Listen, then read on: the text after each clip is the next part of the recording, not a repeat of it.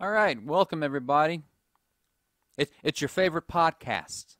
Uh, if you're watching this, I'm trying kind of a different setup because I notice when this gets put out to audio only on Spotify that I guess they automatically boost the sound. So I'm trying to fix any kind of little hissing sound issues. So I'm like further away from the computer and I have like a whole, I got like a huge like light over here and a blanket trying to light everything and like a telephoto lens kind of like shooting across the room. If you're listening to audio, obviously you're not seeing any of this and I have like kind of a makeshift like it's the same mic, it's just like on a it's like on a monopod tripod head like leaning so you can get, we can get like real good hopefully close audio because that's what matters in a podcast is audio. I, I mean, I, am not really a fan of like this covering my face, but uh, unless I switch it up in a sideways, what I don't know. I'm still like this is still new. I'm still figuring out. Also, it's super hot in here with I don't know how many lights going on trying to light this thing, but uh, it's uh, it's today in art. Today is uh, August 21st, 2018. Of course, I am, like I've said before, Christopher Pack. Uh, you can follow me on Twitter.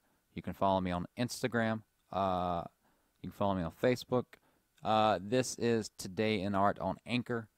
It'll be the same thing on YouTube. It's just my YouTube channel is Christopher Pack.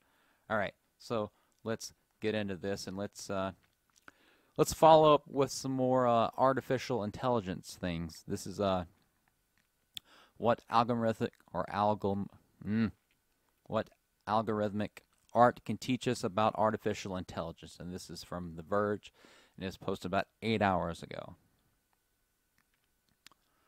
Uh, it's by James Vincent. Like I said, it came out uh, about 10 a.m. this morning. So that's cool. Uh, as you can see here, there's like some flat, colorful prints. Uh, it says prints made by Tom White appear to humans as meaningless blobs, but to AI algorithms, they look like specific objects and items. I wonder if I can, uh, let me try something here. I just made the ads bigger, didn't it? Come on, man.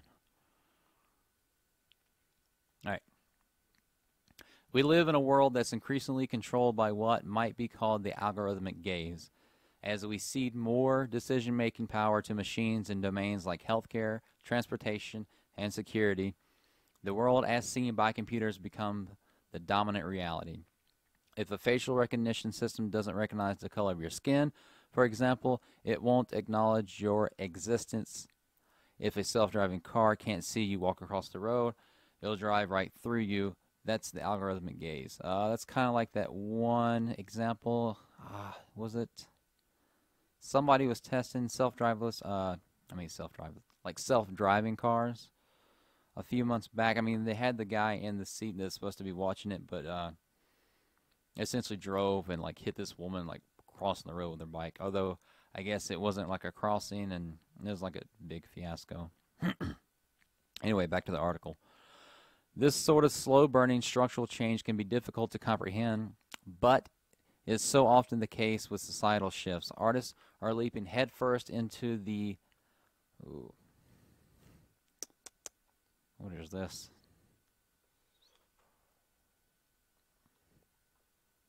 Oh, come on. The ESMA hmm, logical gaze. The epistemological epistemological gaze relating to the theory of knowledge, especially with regard to its methods, validity, and scope, and the distinction between justified belief and opinion. Cool, that's a word I haven't heard before. Head first into the epistemological fray. One of the one of the best of these is Tom White, a lecturer in computational design at the University of Wellington in New Zealand, whose art depicts the world not as humans see it, but as algorithms do. White started making this kind of artwork in late 2017 with a series of prints called The Treachery of ImageNet.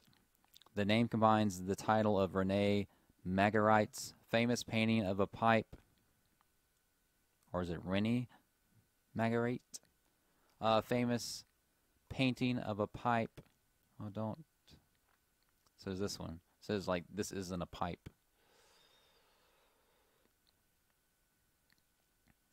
Uh, famous painting of a pipe that isn't a pipe, and ImageNet, a database of pictures that use uh, that's used across the industry to train and test machine vision algorithms. It seemed like a natural parallel for me. White tells The Verge, plus I can't resist a pun. To humans, the pictures look like haphazard, haphazard arrangements of lines and blobs that lack any obvious immediate structure. But to algorithms trained to see the world on our behalf, they leap off the page as a specific object, as specific objects, electric fans, sewing machines, and lawnmowers. The prints are optical illusions, but only computers can see the hidden image. So this one's supposed to be an electric fan, it's kind of like circles and blobs of blue and gray and like black, swiping swishy lines. Uh, pair of binoculars, I can kind of see that. Kind of has a shape. It's purple. There's a little bit of gray, some black lines. So it seems to be there's like a a was it uh, cello? Some red blobs, some pink blobs, some black lines. It seems to be kind of a. This one's a tick. That kind of looks like a weird looking tick. Uh, a lot of these seem to be like maybe one or two colors. This one's like three. Then there's like some black, swishy, like almost, uh, almost. What do you call it? Like outlines, like illustrative lines that are kind of like off. So that's interesting. it's kind of almost like flat, minimalist type things. A type look. White's work has attracted a lot of attention in the machine learning community, and it's getting its first major gallery show this month as part of an exhibition of AI artwork. In India at Delhi's Nature Morte Gallery, White says he designs his prints to see the world through the eyes of a machine and make a voice for the machine to speak in.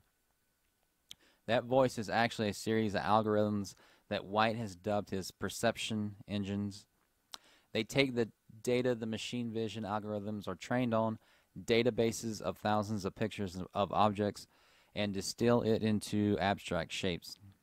These shapes are then fed back into the same algorithms to see if they're recognized. If not, the image is tweaked and sent back again and again until it is. As a trial and error process, that essentially ends up reverse engineering the algorithm's understanding of the world. White compares the process to a computational Ouija board, where neutral, where neural networks simultaneously nudge and push a drawing toward the object. He tells The Verge that this method gives him the control he wants out of the output, though it can take days to create a single image in this way, and he admits that the process is kind of tedious. Unlike some artists who work with machine learning, White doesn't pretend that his prints are the product of some anonymous AI. A disingenuous narrative sometimes pushed by artists and promoters in, in order to create a feeling of technological mysticism. Instead, he's upfront about his role. He sets a number of starting parameters for his perception engines, like the colors and thickness of lines, and winnows the output rejecting prints that he doesn't find aesthetically pleasing. Although he has given his algorithm a voice to speak in, he's also making sure the results are pleasant to hear. I think I'm trying to free the algorithm so it can express itself so people can relate to what it's saying, he says. And what is it saying? Well, as with art, different people hear different things. So I mean, the AI seems to be helping produce, but he's like kind of, he's the one deciding what is and what isn't. Some of the imagery made by White and his peers as a bad, some, some see the imagery made by White and his peers as a bad omen, and another sign that artificial intelligence is not only getting smarter, but beginning to think creatively and take on roles reserved for humans. Karthik, oh man. K A L Y A N A R A M A N. Karanaraman. Uh, one half of the curation team responsible for the Nature Morte exhibition tells The Verge by email that he arranged the show to draw attention to the inevitable questions we face about the future of, of humanity. Once so much of our labor, manual, mental, emotional, artistic, is replaced by machines, what is left for us to do? He asked. How will we define ourselves? K, let's do Kayla. Kayla Karanaraman, let's call it Kayla. Call that person Kayla. Uh, Kayla suggests that art made with AI demonstrates that computers may deserve credit as creative actors. The type of machine learning used by White and his peers works by shifting through large amounts of data and then replacing the patterns it finds. Kayla suggests that this is similar to the process by which humans learn art, but that our mysticism surrounding the notion of crea- creativity stops us from seeing the parallels. If a machine can make humanly, surprisingly stylistic new kinds of art, I think it is foolish to say, well, it's not really creative because it doesn't have the consciousness. It doesn't have consciousness, he says. Others frame the question in more ruthless economic terms. Writing for contemporary art magazine, was it Frieze Friends? F R I E Z E. Uh, Mike Pape Pepe Pepe suggests the promotion of AI creativity is essentially propaganda for corporate interest. Papai says that despite utopian, oh man, utopian, ah. Uh,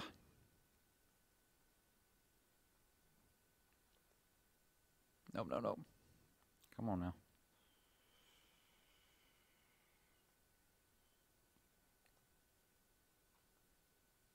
Utopian prognostication. Prognostication. The act of foretelling or prophesizing future events.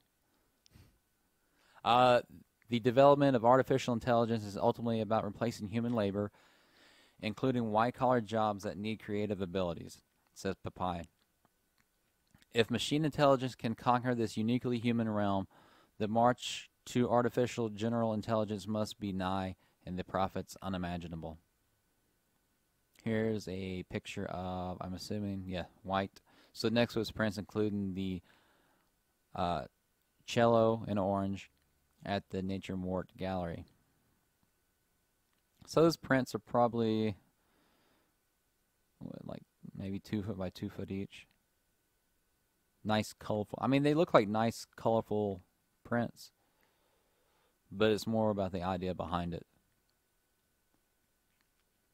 White says his motivation is primarily to de- deconstruct what we think of as machine perception. In other words, to explain the algorithmic gaze.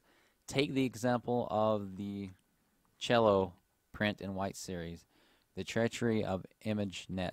If you know what you're looking for, you can see shapes that represent the instrument, a cluster of straight parallel lines bracketed by curves, but there's also a confusing shape looming behind it.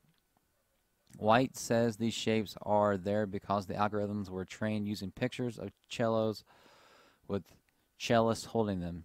Because the algorithm has no prior knowledge of the world, no understanding of what an instrument is, or any concept of music or performance, it naturally grouped the two together. After all, that's what it's been asked to do learn what's in the picture. This sort of mistake is common in machine learning and it demonstrates a number of important lessons. It shows how critical training data is given an AI system the wrong given the AI system the wrong data to learn from and it'll learn the wrong thing. It also demonstrates that no matter how clever these systems seem, they possess a brittle intelligence that only understands a slice of the world, and even that imperfectly. White's latest prints for the Nature Morte Gallery, for example, are abstract smears of color designed to be flagged as inappropriate content by Google's algorithms. The same algorithms used to filter what humans see around the world. Going off of that, I've heard before that obviously computers can, you know, do, you know, mathematical uh, equations and solve them, you know, like in like a nanosecond. But like just uh, two people walking down the street, waving and saying hi is like something a computer program can't understand because there's so many. Uh, there's not. It needs like set rules, set parameters, and set guidelines, and without it, it can't really, or it's hard to, for it to execute on that. So there's certain things that we think are very simple that a computer can't understand, while all, all while on the other hand, if you have like set rules like in chess or checkers or whatever, then it can like it can do that, you know, amazingly well.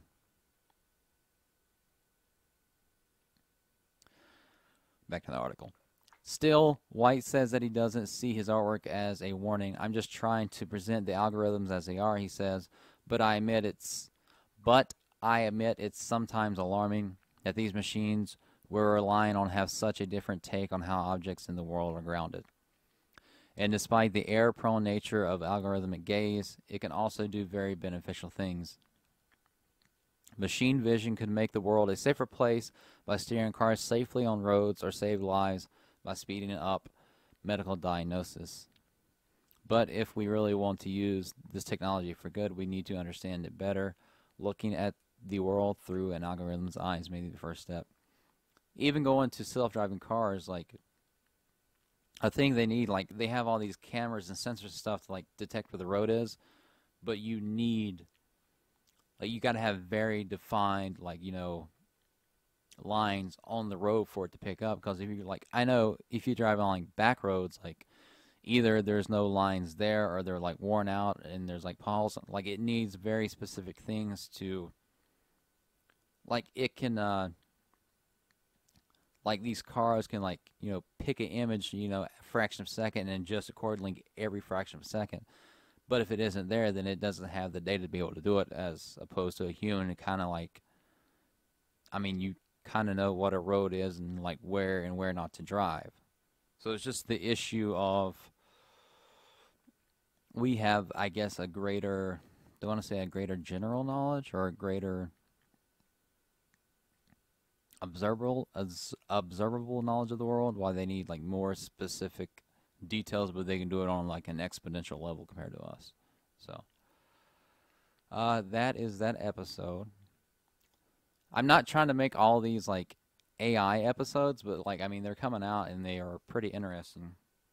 So this has been today in art august 21st 2018 this is the end of the episode uh, hopefully this new setup is uh, working a little bit better. We'll see. I don't know. It's continually adjusting. I still want to do the first 30 days where I'm doing an episode a day. Whether I continue it after that or do I want to do it like every other day or a couple times a week or something, I'm not sure yet. It just depends getting this like worked out and set up. But if you want to follow me on Twitter, it's uh, ChrisPack1986. My Instagram is Christopher Ray Pack. Uh, my YouTube channel is Christopher Pack. You can find it on Anchor and Spotify and all other kind of like podcasts as Today in Art. So have a good one, and I'll uh, talk to you tomorrow. Later.